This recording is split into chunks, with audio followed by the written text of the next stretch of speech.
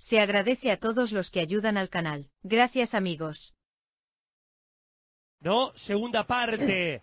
Y, y me encantó el segundo tiempo cuando entraron Diablito y Colidio. ¿Cómo lo viste vos? ¿Qué hace Toti? Buenas noches, buenas noches a toda la gente de que estaba escuchando Radio La Red y al hincha de River que hoy, el hincha de River hoy, se va sabiendo que en 180 minutos y a la bestia negra se la comió entre dos panes. Hoy River... ¿Cuál es la bestia negra? Talleres. Ah, dale. bueno, ¿qué? Ah, no, Be- usted, oh, perdón, Talleres. perdón, Dale. perdón, ¿de qué me están hablando? Bestia Negra, sin ¿De qué Ramón. me están hablando? Talleres Bestia Negra, ¿De qué sin, sin Ramón Sosa. Con bota, Córdoba, con bota desgarrado. Por favor. Bueno, no, no, no. favor. No comparto, no comparto. Ve. No, bestia, 180 Bestia Negra puede ser 100, Flamengo, 180, Palmeira. No, no, no, no, 180 no, no es. Bestia Negra Talleres, Nacho. Dejate joder. 180 Dale. Para vos no. Para nadie. Pero no Ahora- para mí, para nadie. Ramón, pero hablale, pero no le mienta. Yo no lo estoy diga que le ganó la bestia Perdón, negra. ¿Qué ah, bestia negra? buscame los Sin últimos- Ramón Sosa con bota lesionado, con los tiene banco, dale. Preguntame los últimos nueve partidos de River Talleres cómo salieron. Bueno, y le eh, ganó que- que dos te, trae- te partidos. traigo uno del 44. en ciento- uno del año 44, si en querés. 180 minutos, River fue superior a Talleres de Córdoba. Los Sí, 180 como- minutos. como debía ser. Tuvo muchísimo más eh, carácter. Todo lo importante de hoy pasó por River. Las ataja- la atajada de Armani, los dos goles.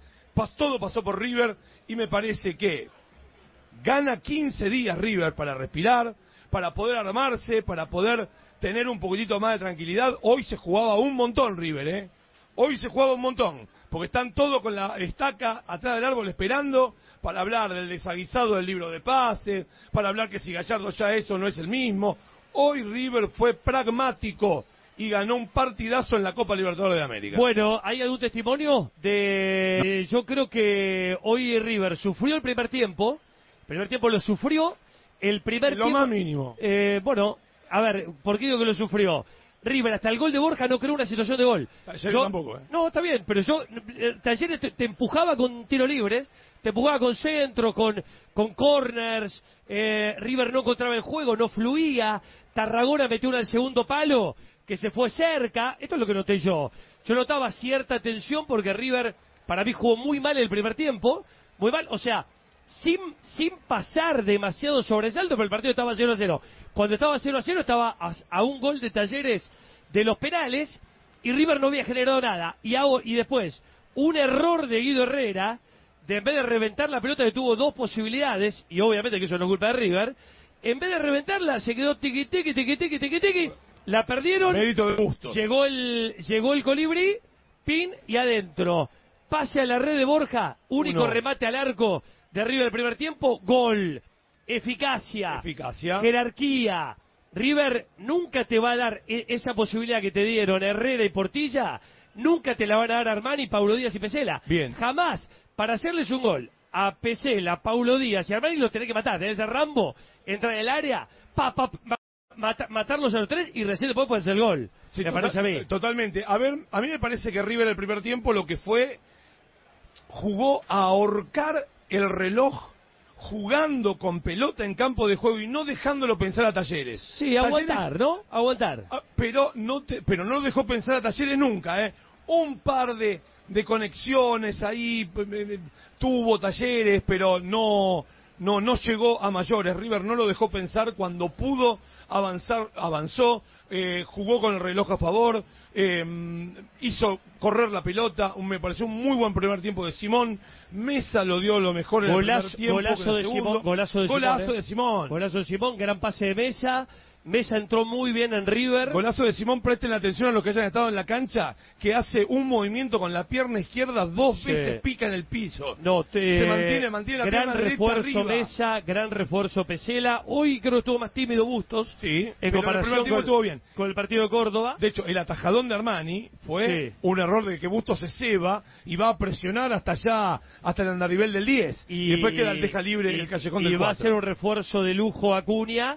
Y bueno, después vos me contarás si vienen más jugadores. Lo que vi hoy me parece, a ver, con lo que vi ayer, ni Fluminense ni Atlético Mineiro son equipos Sí. que pareciera vayan a complicarle la vida a River, más allá de lo que ocurrió el año pasado con va- Fluminense va- allá y con Fluminense acá. Claro, va a intentar embarrar la cancha, Colo Colo en Chile. Cuando digo Sí. embarrar la cancha, hacer un partido bien copero, Áspero, áspero, tal cual, de, áspero. de pierna fuerte y, y ver si lo puede complicar a River. Bueno, Turquito, a ver, eh, antes de meternos en boca, anda preparándote porque se viene la quinta, ¿eh? El 30 de noviembre, acá en el Monumental. Lo que viene, lo que viene, diría mi amigo Marcelo Araujo, se viene, se viene otra Copa de River con el muñeco, con los refuerzos, con Maxi Mesa. ¿Qué refuerzo Maxi Mesa, Nacho? Total, Dos viste, palos, muy bien. dos refuerzos de lujo Maxi Mesa. Turquito, y bueno, andar resignándote que se viene la quinta, ¿eh? Están. No, no, me enteré que, que había ganado River pues, cuando recién me llamaron para salir al aire. Ah, ¿no Vi viste, ¿no viste el partido? ¿No viste el partido? No, vi Copa Argentina, Ah, News y Central Córdoba de Santiago del Estero. Después me vi una serie y bueno, Ah, me ¿por enteré ahora no? cuando me llamaron. ¿por qué no quisiste ver a River? Contame. No, no me interesaba. No te interesaba. Sabía Bueno, lo que iba a pasar. que, te, que me ganó bien River. Sabía lo que iba a pasar, sabía que, sabía que iba a ganar River. ¿Quién? ¿Cómo, ¿Cómo dijo que era Talleres, Nacho? La bestia negra para él. Bueno, repetémoslo. Por Dios. Eh, bueno, Por ya, Dios. ya vuelvo, me das el equipo para mañana. Me contá que el Guasón, Guasón querido, viste River. Contame qué viste esta noche. Totti querido, y vi River, eh, más allá de estar relatando otro partido, pero estuve eh, muy de- del partido de River. Eh, en la Copa hay que ganar, en la Copa hay que meter, en la Copa hay que jugar, y River golpeó en los momentos justos, pese a que Talleres hizo mérito, sobre todo en el primer tiempo, quizás hasta para ponerse en ventaja, pero cuando vos perdonás a un equipo copero, bueno, pasa esto. Entonces, es merecida la clasificación en los 180 minutos. River demostró que eh, quiso jugar la Copa Libertadores, sobre todo de la llegada de Gallardo, mientras que Fassi lo único que le importa es sumar billete, viajar a Rusia, venderlo mejor, y bueno, el año que viene quizás alguna vez va a ganar algo Talleres. El presidente hará plata, pero quizás alguna vez va a ganar algo. Muy bien lo de River, me ha gustado Craneviter, Borja está entre... Bueno, ahí lo recuperamos al Cavani, desgarro en el solio de la pierna izquierda, apuntan a que llegue al Superclásico el 22 de septiembre, Falta un mes justamente para- dentro de un mes. Che, falta un, ¿que un mes parado va a estar?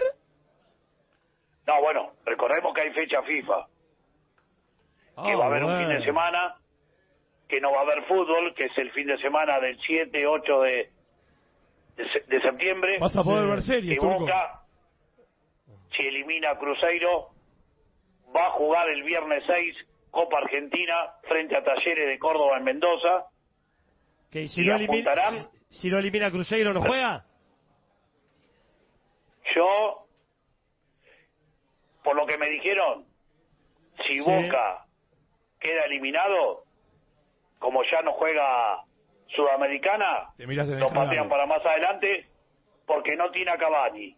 No va a tener a Ah, Víncula, ah, fecha ah. FIFA, y es probable que no tenga Merentiel. Bueno, entonces, un mes, un mes, Cavani. Un, este es el titulazo, porque todos pensamos que, que era, bueno, eh, no, no juega eh, mañana y vemos. Claro. Un mes. Y contra Talleres. porque contra- eh, hoy, eh, hoy, son- hoy es 21 de agosto, hasta el 22 de septiembre juegan Boca River. Boca no le puede juega Cavani. y Boca no le puede jugar a Talleres sin Cavani, sin Advíncula y quién más. Y, y me están Y- negando que es Bellanera. Por favor, mírate el encargado Bueno, de las llega- tres lle- temporadas, llegaría, Turco. llegaría, llegaría con lo justo no, al no primer, entiendo. llegaría con lo justo al primer partido. Sí, Turco. Dale, dale, Walter. No, digo, si Boca pasa, llegaría con lo justo al primer partido, que sería el 18 del próximo mes. Está hablando Riboneto cuando quieran. A ver, un toquecito del técnico de Talleres.